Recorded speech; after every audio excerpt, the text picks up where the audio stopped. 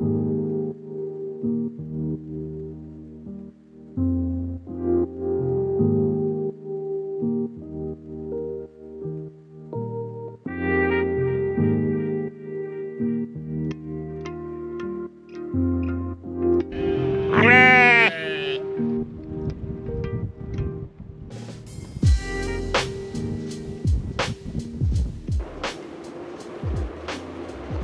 Wild Atlantic Way is a 1600 mile scenic route that follows Ireland's rugged western coast. Ireland is only 300 miles long and 170 miles wide, but its many peninsulas create a seemingly endless coastline. We've broken this episode into three different sections.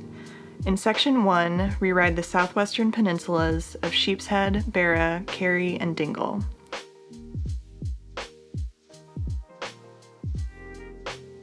Section 2 covers the central part of the route through the Burren and Connemara areas.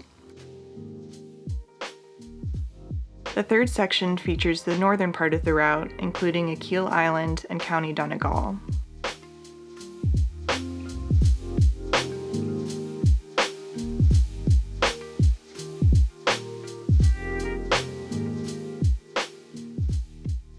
The peninsulas of southwestern Ireland, particularly the Ring of Kerry, are some of the most visited places in the country.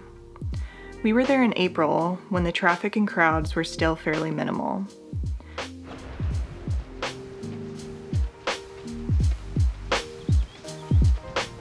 Pretty nice campsite right by the ocean.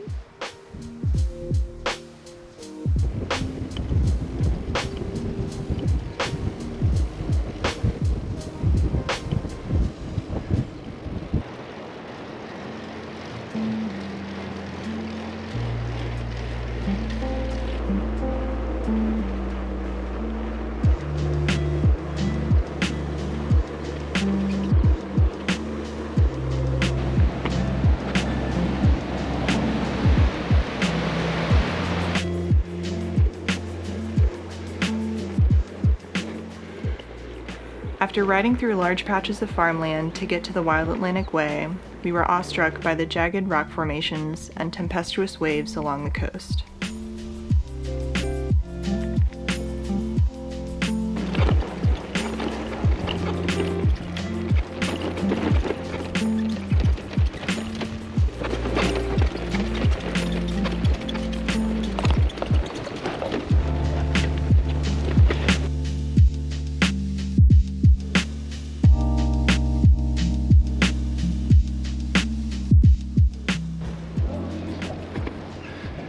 Riding through Castletownbere on the Beara Peninsula.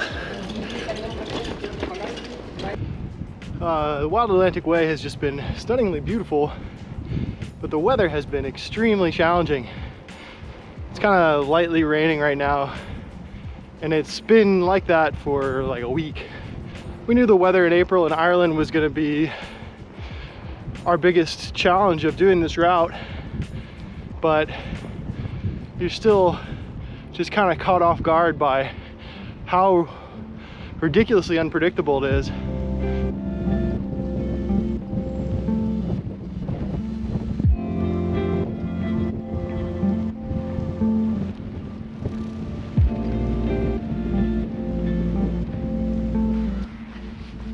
Have to walk through this sheep enclosure to go to this ring fort.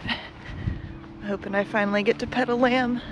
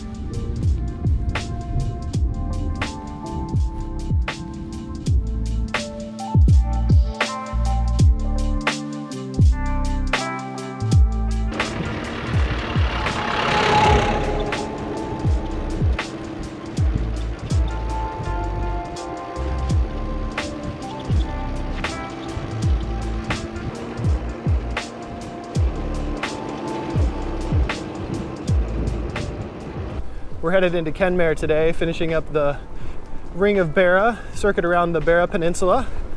One of the things about riding in Ireland is that the roads are extremely narrow. This is a two-way L road, and at any moment somebody could come flying around a corner and oftentimes there's just blackberries on the side of the road, no real space to get off. So it's it's not a huge deal because there's usually not much traffic, but it is something that is uh, a little bit challenging at times. But it is nice that there are so many options. Um, you can pretty much always find a road like this that parallels a more main road. And the thing with the main roads is that they're often not much better. they're definitely a little wider, but they often don't have bike lanes and a little bit treacherous when people try to pass you and there's oncoming traffic.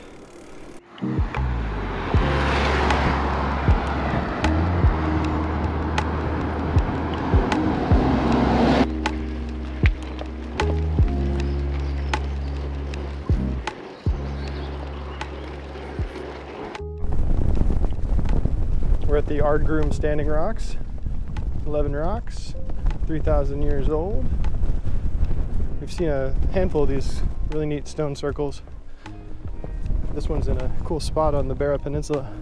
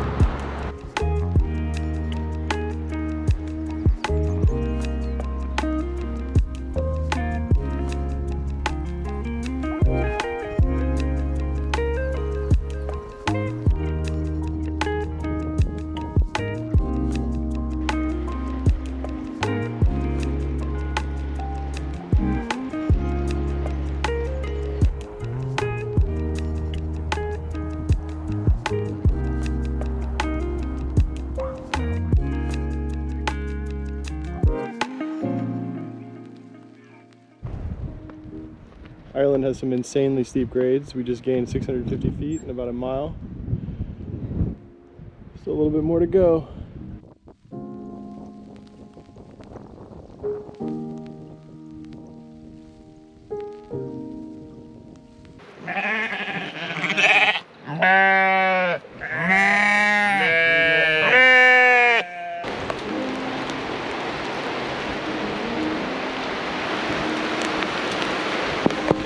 Raining as usual.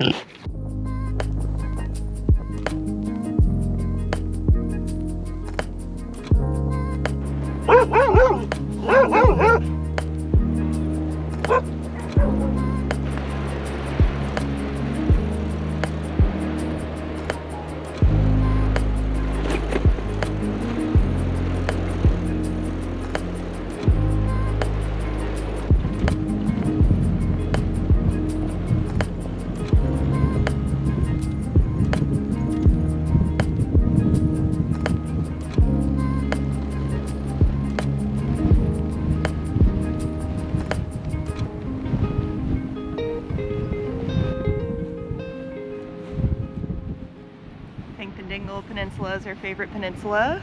This is gonna be our campsite for tonight. Not a bad view.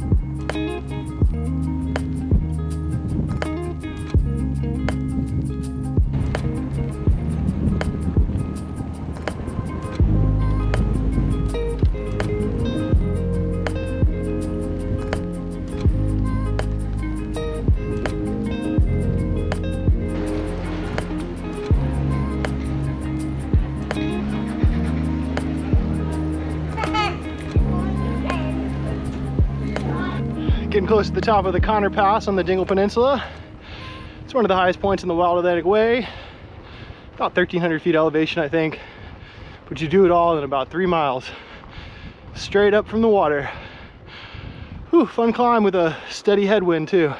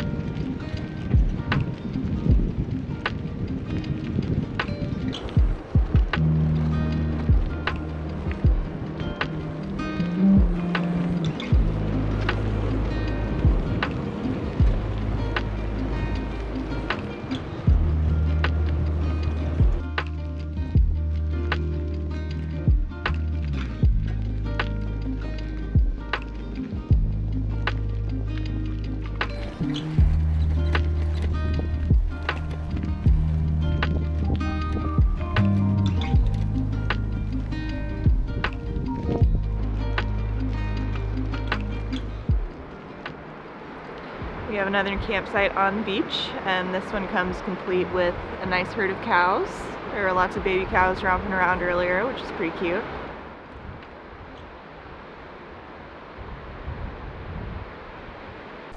After riding the Dingle Peninsula, we went through Tralee and are now on the Loophead Peninsula.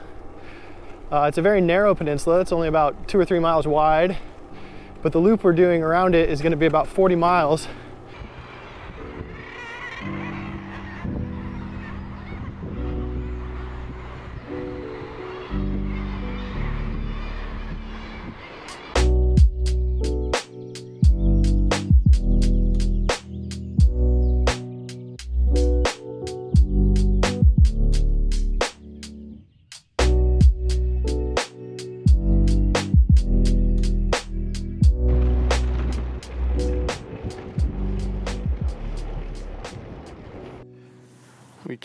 This uh, field there was no fence.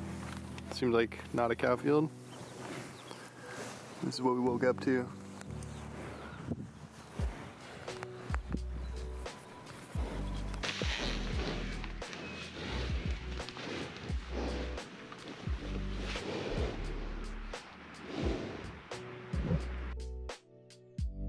The central part of the Wild Atlantic Way has a lot of diversity in its landscapes. From the famous cliffs of Moher to the limestone wonderland of the Burren and remote mountains of Connemara, there's a beautiful place around every bend of the road.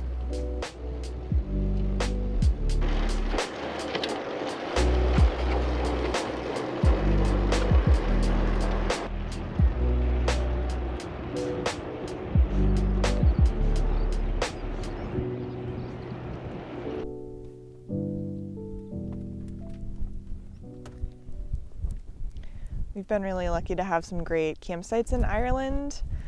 Uh, a lot of places you'd have to pay quite a bit of money to sleep with a view like this, but yeah, the wild camping has just been incredible here.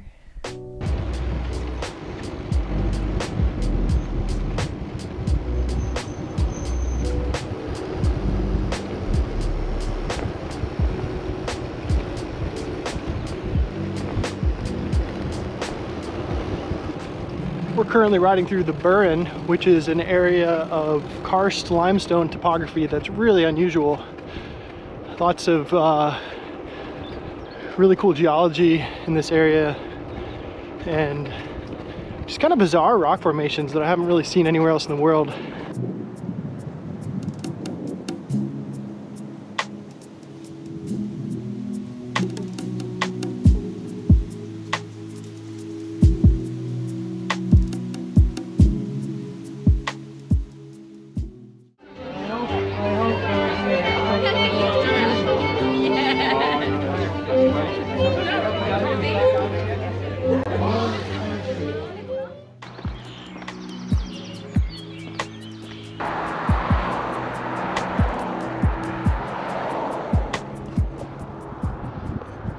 Ireland has been pretty devoid of cycling infrastructure, so we're kind of surprised to find this nice bike lane separated from traffic between Kinvara uh, and Kilcolgan on the way into Galway. We're not actually on the EV1. The EV1 goes up more inland, but uh, this is worth riding.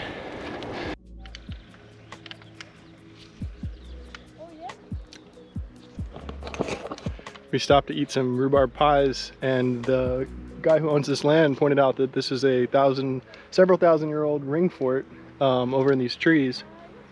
Just stopped here for lunch happened to be next to ancient archaeological site. It's amazing. Ireland's awesome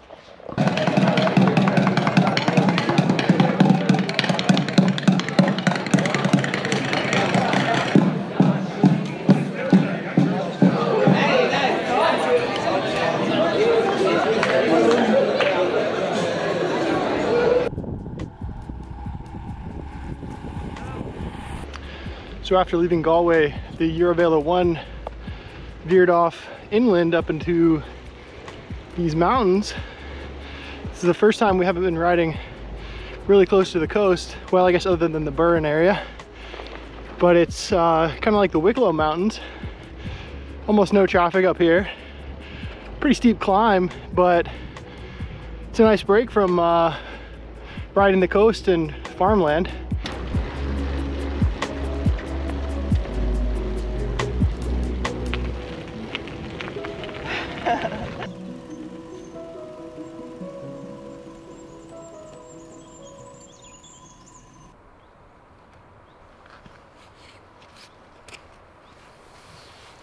We slept in this morning because it was raining and we didn't feel like getting out of bed, but it cleared up now and we've got a nice view from our tent.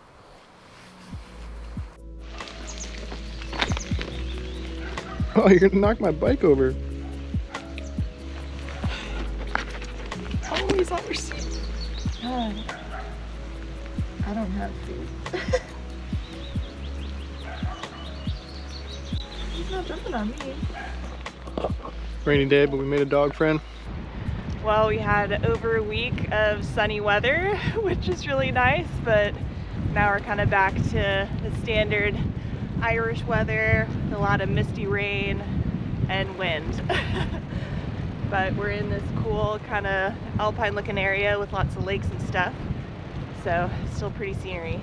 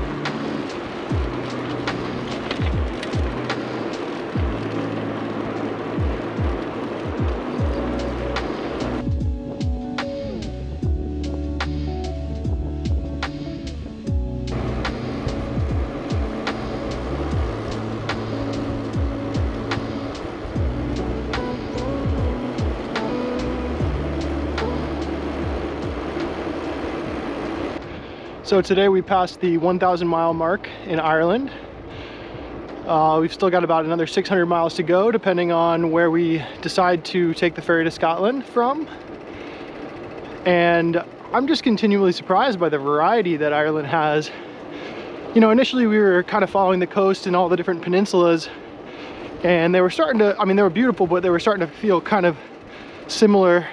And now we are in Connemara and this fjord we're in is just spectacular. It's like something out of Iceland or Norway.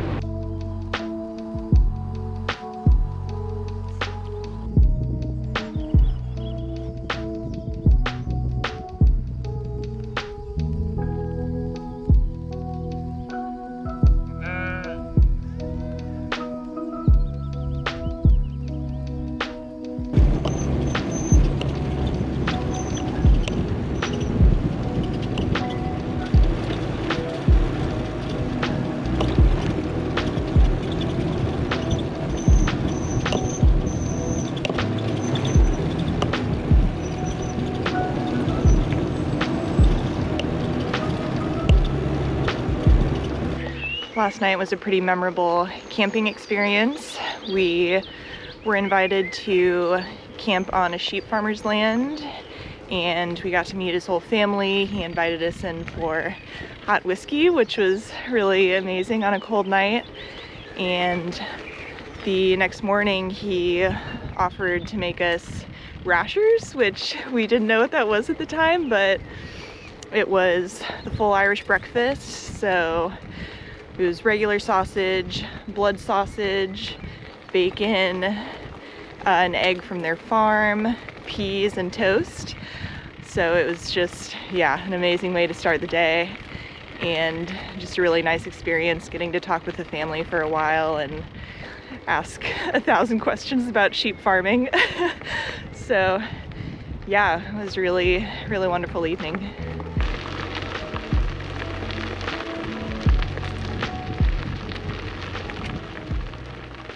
We rode a lovely greenway out to Achill Island and continued through sparsely populated County Mayo. In County Donegal, we deviated from the coastal route to go through mountainous Glenveagh National Park before finishing the Wild Atlantic Way in Derry.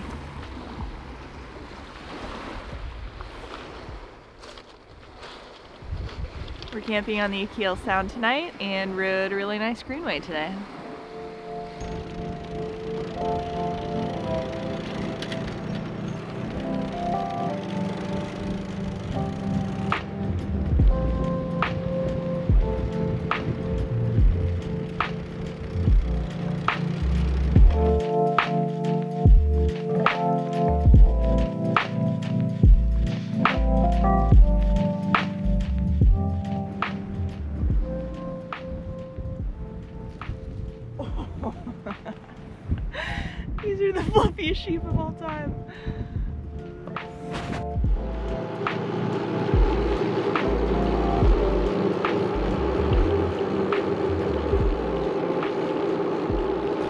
Riding on an N road in County Mayo. It's one of the quietest parts of Ireland so far. Just peat bogs to my right and occasional houses over here on the left. We're cruising along with our first significant tailwind in what feels like all of Ireland. And we've got a lot of really nice coastal scenery and headed into Ballina for a warm shower stay.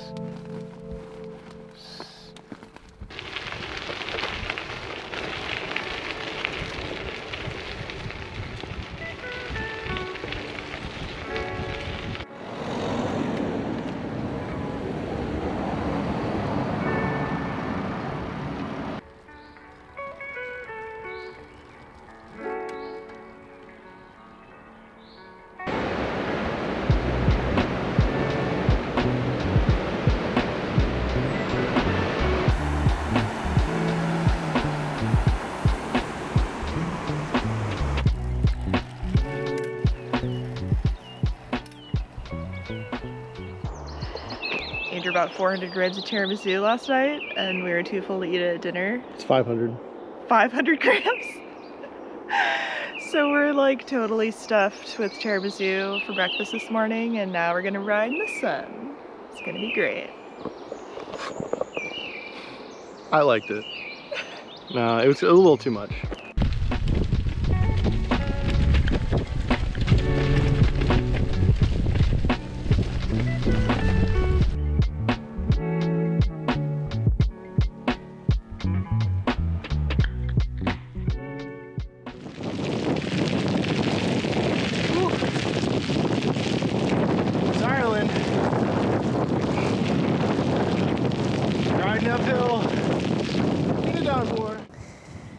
One of those nights where there's just a constant unstopping wind, which makes it really difficult to set up the tent and stuff. But uh, we found a pretty nice spot tonight after kind of an all day rain.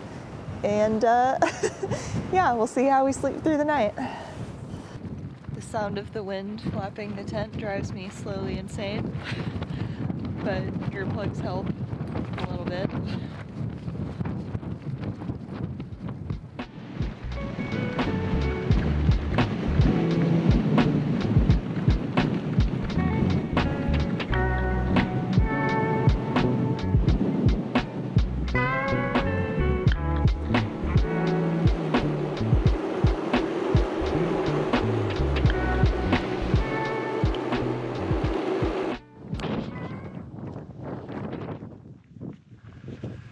Well, it's a very windy day in Ireland. Jenny broke a second spoke. This time we figured out, instead of removing these two roll-off pieces, uh, you can just take the brake caliper off, and uh, or the rotor off rather, and pull it up over this. I don't know how I didn't notice that last time. It's pretty frustrating because removing this took us like an hour last time. But yeah, new spoke's already in, and um, I'm gonna true it up and be on the road in only a half hour instead of three hours.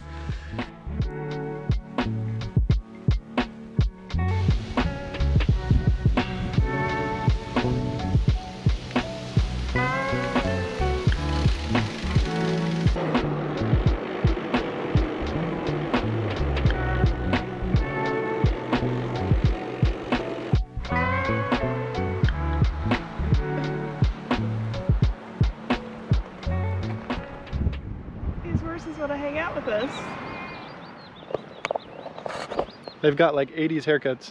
It's pretty sweet.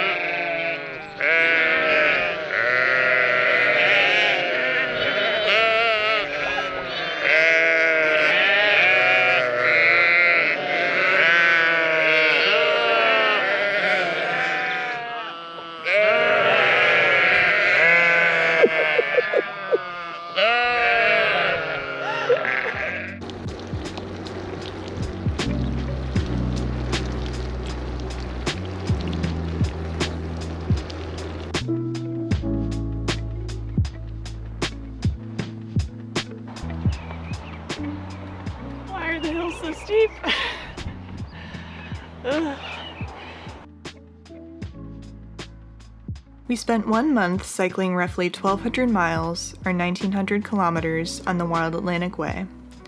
While the narrow roads and adverse weather made the trip challenging at times, the stunningly gorgeous scenery and friendliness of the Irish people more than made up for these difficulties.